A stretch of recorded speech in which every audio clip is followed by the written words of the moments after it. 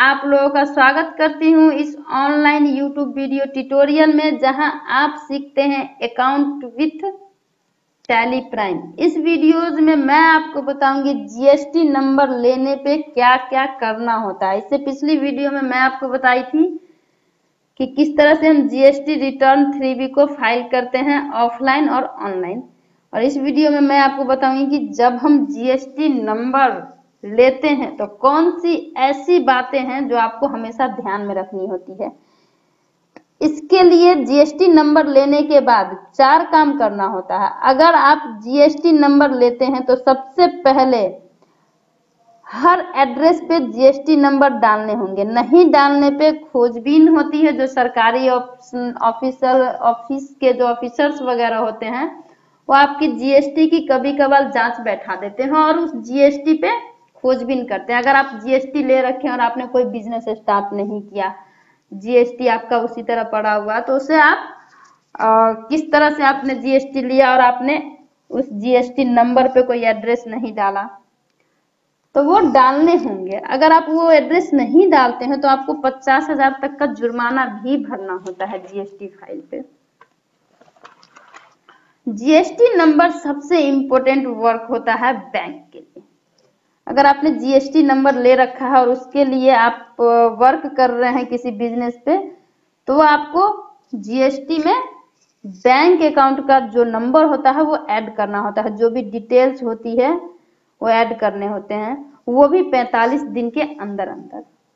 मान लीजिए आपने जीएसटी नंबर ले रखा और आप वर्क कर रहे हैं अपने ऑफ़िस में या फिर आपने कोई कंपनी खोल रखी है, उसमें जीएसटी नंबर ऐड कर दिया और उस कंपनी पे वर्क करते जा रहे हैं। उसके लिए आपको कोई बात नहीं है, लेकिन आपको 45 दिन के अंदर अंदर जो आपका जीएसटी नंबर है, उससे आपको बैंक से कांटेक्ट करना होगा। अदरवाइज़ अगर आप अपने बिज़नेस में इंक्रीजिंग डिक्रीजिंग कर रहे हैं, अगर ज़्यादा आपका जीएसटी हुआ तो वो आपका रिटर्न फ़ाइल जो करेगा, वो बैंक खुद व खुद कैलकुलेट करेगा। अगर आपने जीएसटी नंबर में बैंक डिटेल्स ऐड नहीं कर रखा है तो बैंक को दिक्कत होगी आपके ट्रांजेक्शन की एंट्री देखने में।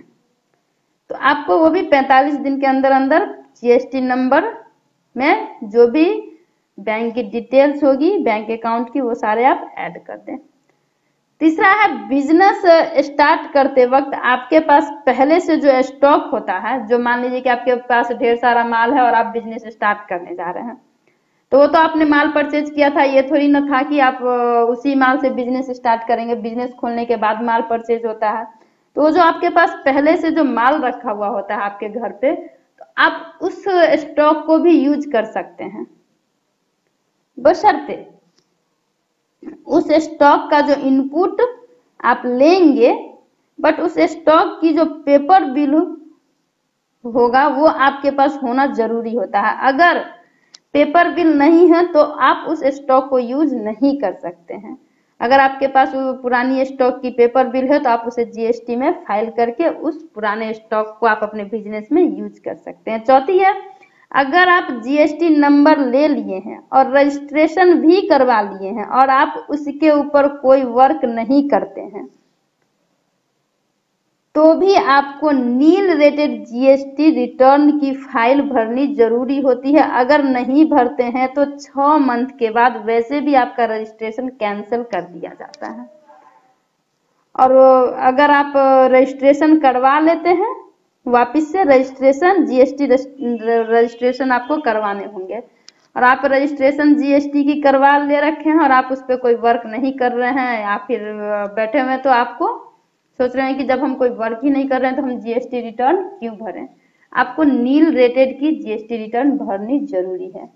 फ्रेंड्स इस वीडियो में आपने सीखा जीएसटी के चार इंपॉर्टेंट पार्ट कि किस तरह से हम जीएसटी में एड्रेस फिल करें, किस तरह से जीएसटी नंबर लेते वक्त हम बैंक अकाउंट ऐड करवाएँ 45 दिन के अंदर अंदर, किस तरह से बिज़नेस अगर हम स्टार्ट कर रहे हैं और पुराना स्टॉक हमारे पास है तो उसका पेपर बिल के साथ ज़रिए आप उस स्टॉक को अपने बिज़नेस में यूज़ कर सकते हैं और आप जीएसटी में रजिस्ट्रेशन लेने के बाद भी जीएसटी नंबर लेने के बाद भी कोई कंपनी में वर्क नहीं कर रहे हैं, कोई वर्क आप बिज़नेस नहीं कर रहे हैं तो भी आपको जीएसटी रिटर्न की file month wise nil rated की फिल करनी ही होगी।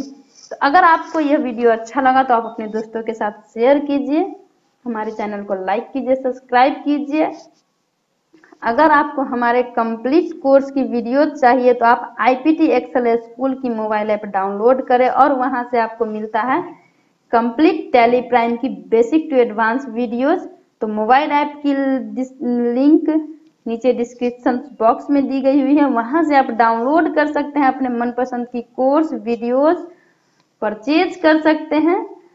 मनपसंद की कोर्स। जी हाँ वहाँ पे आपको मिलता है कंप्लीट बीबीए की course Excel with micro programming की कोर्स एडवांस एक्सेल विथ फॉर्मूले की कोर्स, और one to one live class जिसे कि आप कैसे कांटेक्ट करें। तो thanks for watching this video thank you